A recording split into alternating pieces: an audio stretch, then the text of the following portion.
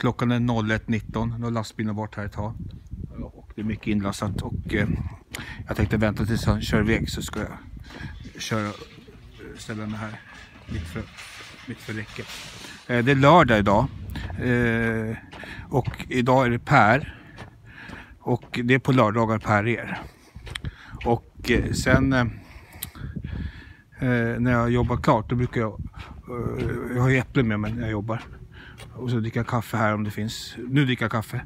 Och sen har jag gjort. Och sen när jag är, är, är, är klar med traktorn, jag brukar också dricka kaffe om det finns. Brukar jag gå och värma, det finns och värma mikron.